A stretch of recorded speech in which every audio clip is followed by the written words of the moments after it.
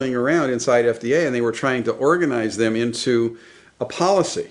And every time they would organize them into a policy at the bench and science level, and they would go up one level to the where the policy people were, the policy people would overrule them. A month later, Olney and Turner filed a formal objection stating that they believed aspartame could cause brain damage. But anyway, we, we filed our petition. Dr. Olney filed one, and I filed one attacking um, the approval. And the FDA said, right, there are some factual uh, information, some factual information that we should look into. We'll have a public hearing. Only because some of the investigators working for the Food and Drug Administration, looking at this data, knew that the data did not contain adequate safety information about aspartame. In 1975, due to serious questions over the quality and validity of GD Searle's testing of aspartame and other pharmaceuticals, the FDA formed a special task force to examine 11 of the pivotal studies on aspartame. Pivotal studies are those upon which the FDA bases approval or disapproval. Of the 113 studies done on aspartame submitted to the FDA by Searle, 90 were conducted in the early to mid 1970s. Every test the FDA called pivotal was part of this 90. In March of 1976, the FDA completed their 500 page report after finishing their investigation. The um, report by the FDA uh, team that inspected it is the most devastating report about research that has probably ever been written about a specific company. And uh, that led to a uh, series of hearings in Congress and came up with a $12 million appropriation to FDA to enforce uh, uh, good laboratory practices. But what happened is there's a policy resolution, but Nut- NutraSweet and, uh, and Searle got bypassed in the sense that they took this all over here and said, look at this terrible thing that's going on. There were a couple others that were going on at the same time. We've got to do something, and they did something. What they did was going forward, you have to meet these requirements. They didn't do anything about going backwards and saying, look, the stuff you're putting, stuff you came through here is uh, killing people. Now, the reason they didn't do that at the time, because it happened in 50, uh, in 75 and 76, is that it was the assumption of everyone in the process that the FDA was going to handle it. So FDA, one of the things FDA did that was so uh, striking and remarkable is that they, uh, knowing that they had this terrible situation on their hands, hired a, uh, a uh, group of pathologists. It's a pathology research group. FDA hired them to review the Searle studies, but had Searle pay for it. So the result was here's a company which makes its money by being hired and paid for to do studies. Well, why would it do a study that was going to be critical of NutraSweet?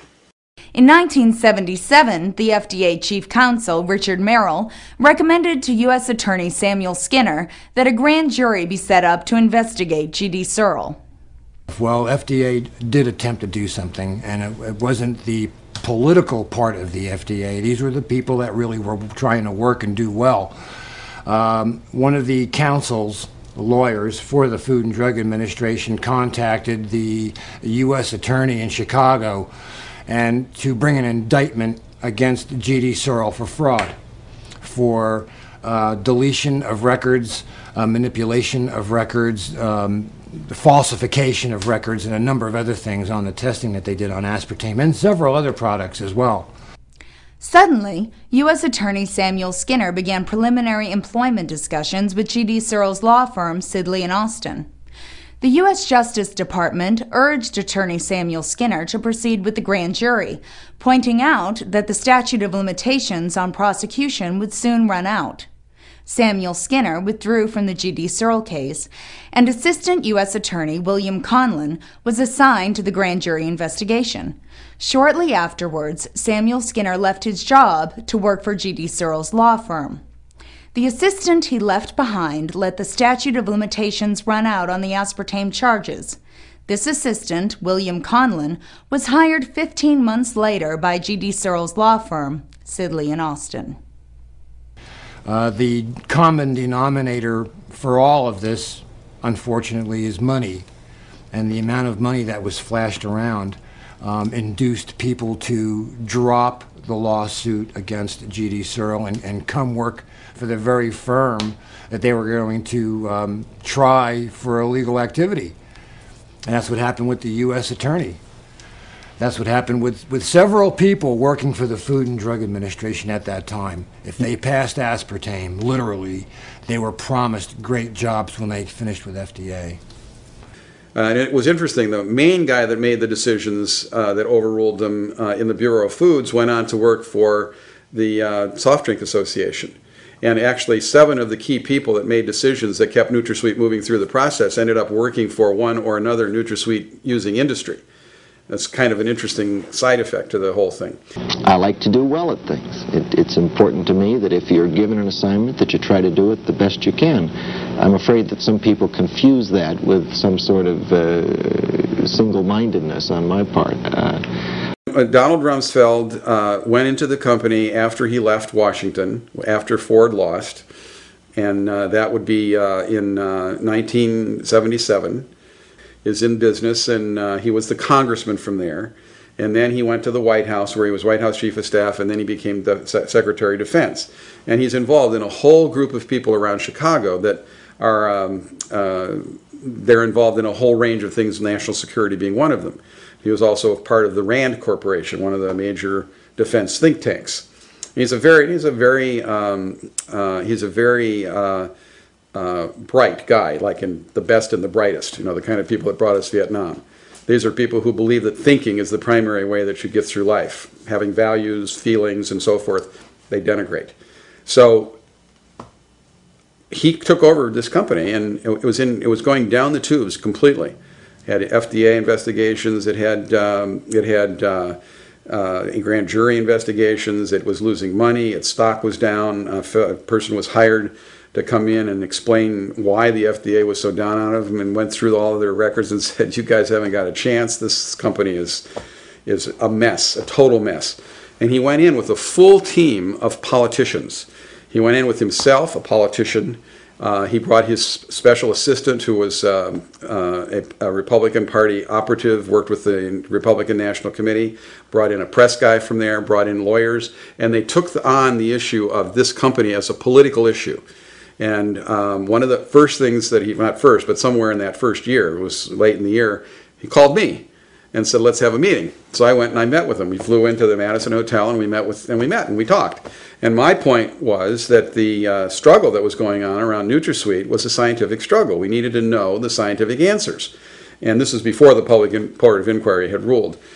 We needed to know the answers. So why don't we, the people who were raising all of the questions about NutraSweet, and the company together create a um, a set of protocols that we would agree address the serious questions that needed to be looked at to decide whether or not it should be, be marketed. So we had this meeting. And uh, we and uh, for about six months, his staff and I and, and, and our group negotiated out how we could proceed on this. His own scientists didn't want to do it. For example, at the at the time that uh, uh, they put their uh, evidence into FDA in 19 um, in 1973, there were no requirements at FDA to examine effects on the brain from food additives. No requirements whatsoever. So there never was a study done to look at whether or not this affected the brain in, uh, in a neurological sense.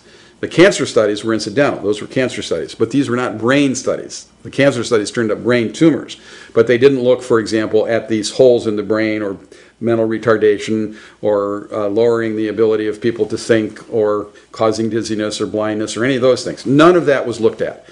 And uh, we were proposing that we design some studies to look at it.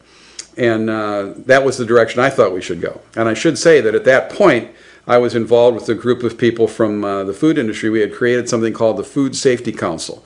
We had 35 major corporations, and it had a board that was half corporate people and half uh, consumer advocates, uh, academic people, environmentalists, and so forth, to look at the standards for food safety. And we had written a whole series of standards for food safety. Basically, what I was saying to Rumsfeld is, why don't you bring your company into the same framework that all these other companies have agreed to be a part of?